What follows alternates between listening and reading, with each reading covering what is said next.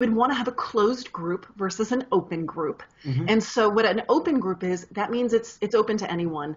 Uh, anyone can pretty much click and join. So you'd want, and not only that, but the messages can be shared. So you can actually link those messages out onto Twitter or they can be found within the search engine. So that's an open group. And believe me, there's, there's a lot of good from that, you know, because it really does increase the audience. It, increases your broadcast. Mm-hmm. Um, but it also opens you up, right? Because anyone can see it, anyone can view it, and that that would sometimes stop people from wanting to contribute, knowing that whatever they say is totally out there.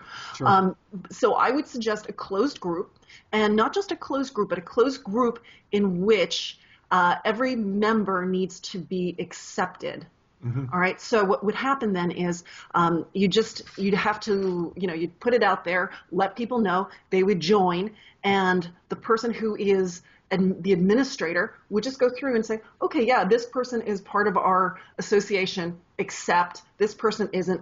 Deny, mm-hmm. and that way you can make sure that it's just your members are within that group.